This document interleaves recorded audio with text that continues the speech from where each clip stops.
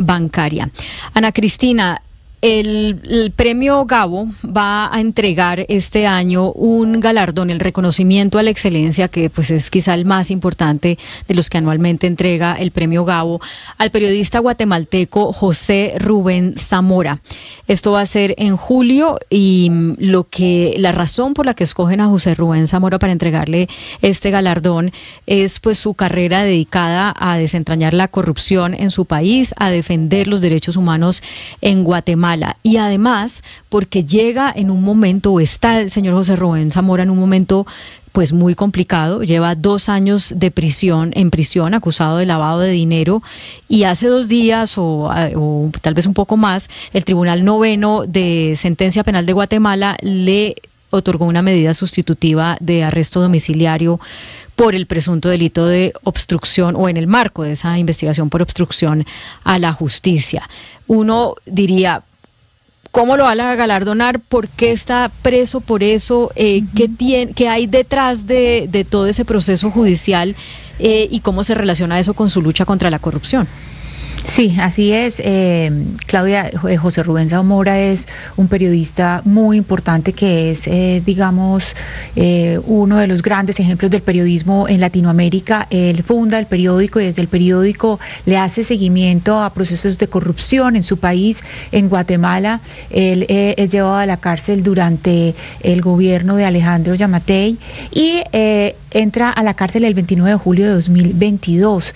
Resulta que a él le imputan tres cargos, lavado de dinero, chantaje y tráfico de influencias. Eso es lo que sucede, pero ya hubo cambios, pues la semana pasada hubo cambios en, eh, en, los cargos, pues digamos, eh, uno de los cargos se retiró, pero precisamente pues eh, de eso vamos a hablar hoy con su hijo. Sí, su hijo nos acompaña en este momento en la línea. Le agradecemos mucho que se haya comunicado con nosotros. Señor José Carlos Zamora, bienvenido a Mañanas Blue. Hola Claudia, muchísimas gracias por la invitación. Un gusto estar con ustedes. No, a usted por atendernos. ¿Cuál es la situación de su papá en este momento, la situación eh, judicial? Bueno, eh, creo que es muy importante empezar porque, porque es inocente, eh, porque le fabricaron un caso durante la administración de Yamatei por denunciar la corrupción al más alto nivel dentro de esa administración y que hoy cumple 662 días de estar en prisión preventiva sin haber sido juzgado. Eh, se le acusaba de, esos, de los cargos que, recién mencionaron, pero luego se, anuló ese proceso.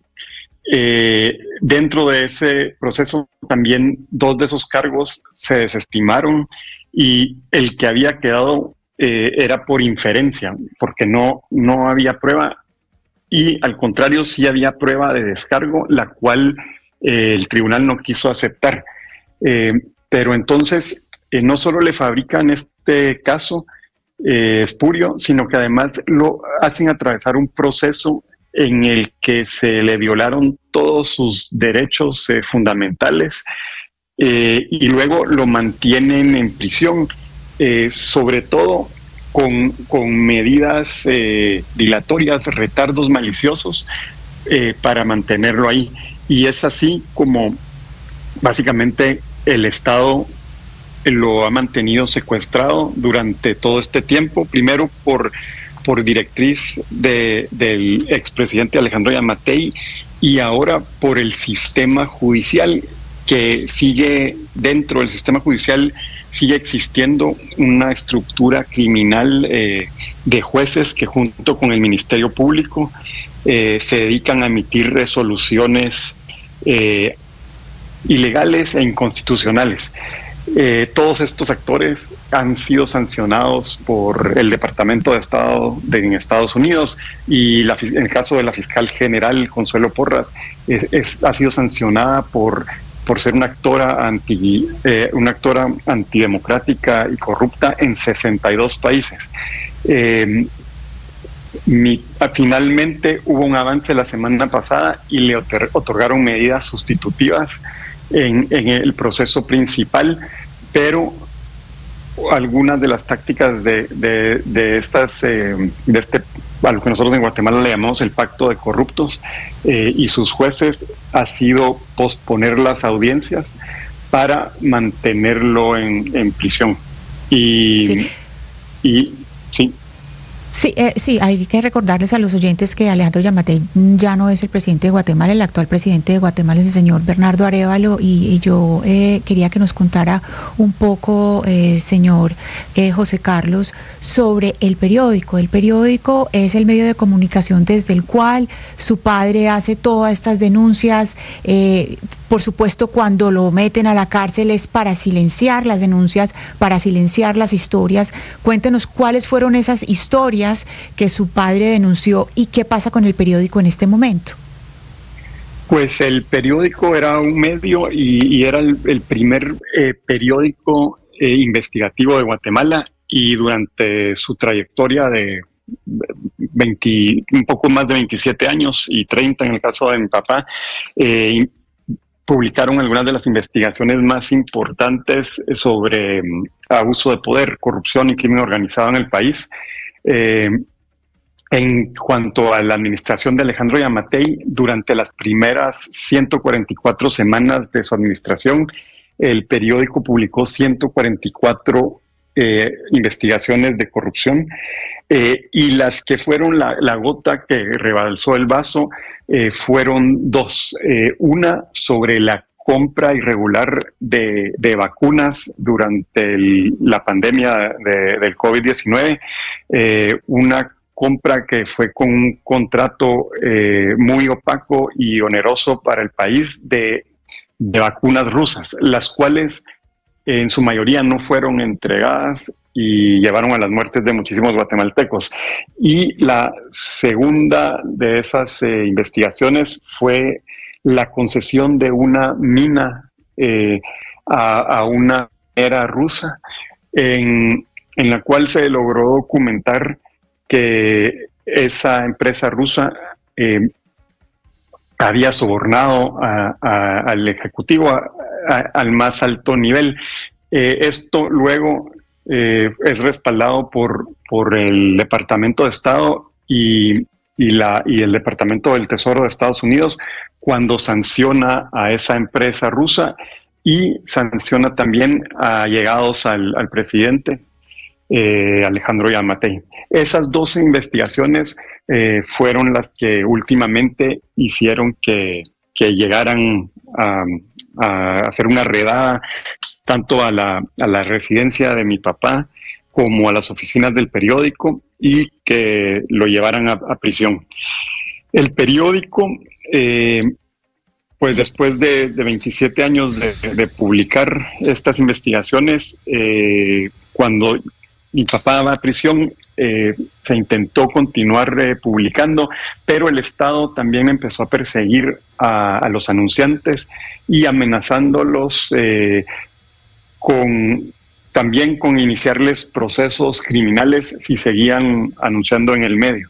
Y así Señor se fueron Sí, señor Zamora, lo interrumpo porque, porque quisiera plantearle algo que quizá llama la atención de mucha gente y es que cuando uno hace referencia a Guatemala en el por lo menos en el radar de América Latina no está en el primer lugar en los países donde la libertad de expresión y la libertad de prensa no es respetada. Primero se viene a la cabeza eh, Nicaragua, Venezuela, eh, pues otros países donde hay quizá muchos más años de esto, y, pero Guatemala no está en esos primeros países. Lo que le quiero decir es que em, tal vez estamos dejando de ver una situación de violación a la libertad de prensa que no sé si se está componiendo con el con este gobierno, con el gobierno de Bernardo Arevalo o que definitivamente ha estado muy escondida y se nos ha vuelto parte del paisaje en América Latina y no queremos ver lo que está pasando en Guatemala.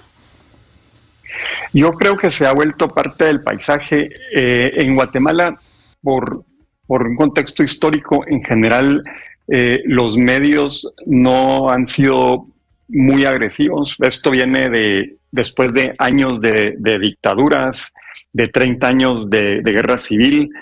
Eh, hay buen periodismo, pero no necesariamente había periodismo investigativo que denunciara la corrupción. Y eso justo era el rol de, del periódico. Todas estas administraciones desde 1985 han sido sumamente corruptas, pero sobre todo la de Yamatei se volvió además sumamente represiva. Y es ahí cuando empieza esta persecución a voces críticas, a periodistas, eh, a, jueces y a fiscales, sobre todo a cualquiera que combatía eh, la corrupción.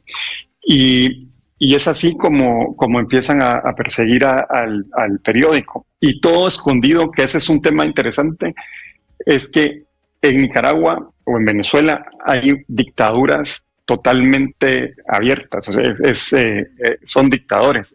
En países como Guatemala eh, existen estas redes de, corrupción que básicamente cooptaron todo el Estado y tras una fachada democrática actúan exactamente como una dictadura. Existe la independencia de poderes, pues uno también pensaría que con el cambio de gobierno y sobre todo entendiendo que el, el actual presidente es un presidente más de centro izquierda, pues tendría alguna vocería, por lo menos, para reivindicar el trabajo que hizo el periodismo, que hizo el, periódico eh, con la dirección de su padre, y, podría, si bien no, no, no, me estoy refiriendo a que intervenga en la justicia, pues sí dar unos mensajes para que se subsane esta, esta situación injusta con el presidente Bernardo Arevalo, ¿ven ustedes la posibilidad de que eso suceda o ha sucedido algo en ese sentido o, tienen una decepción al respecto o cómo lo están eh, manejando? Pues hay un, cambio muy importante de una administración a otra. Y, eh, es principalmente que con la administración anterior de Alejandro Yamatei, eh, el, pacto de corruptos, eh, lo que nosotros llamamos el pacto de corruptos, es, tenía cooptado todo el Estado. Y aunque aparentemente hay división de poderes, no, no lo había. Eh, y todas estas persecuciones venían directamente del, Ejecutivo. Lo que cambió eh, radicalmente de, de, un día para otro con la nueva administración es que el, ese pacto de corruptos perdió el Ejecutivo pero todavía está enquistado en el sistema judicial y en el legislativo. Entonces, ahora ya no les es tan fácil operar. Ese es un cambio. El otro es que también eh, cesó la persecución de, la prensa desde el Ejecutivo.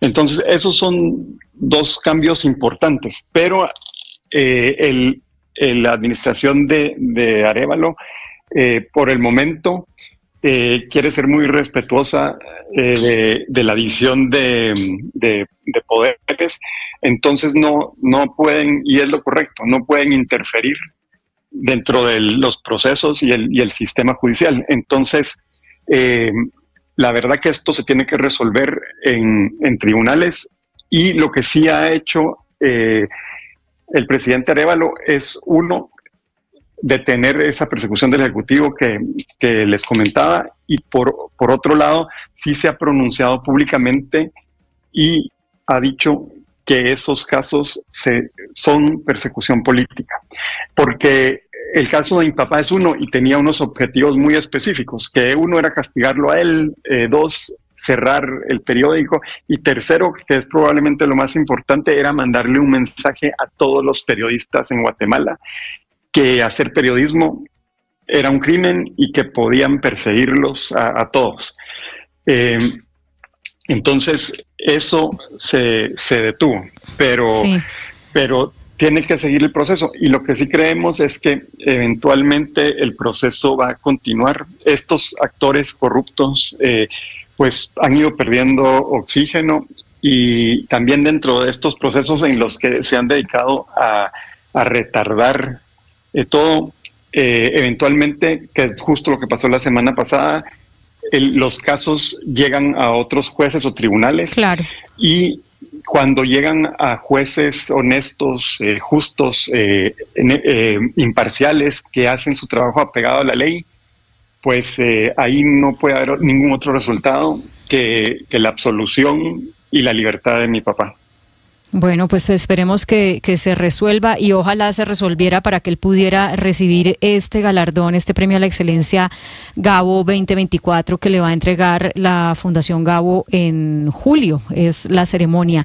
Eh, señor José Carlos Zamora, le agradecemos mucho que se haya tomado estos minutos con nosotros, con nuestra audiencia en Colombia, para explicar pues algo que va pasando de agache, que se vuelve parte del paisaje, pero que es muy grave. Se trata del director de un periódico, del fundador de un periódico, preso por unos cargos, em, pues como usted nos ha explicado, inventados en represalia a las investigaciones por corrupción que hizo durante el anterior gobierno del señor Guiamatei.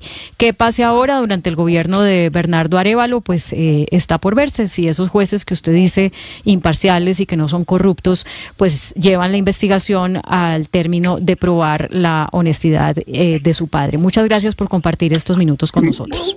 Muchísimas gracias, Claudia. Sí, Claudia, aquí.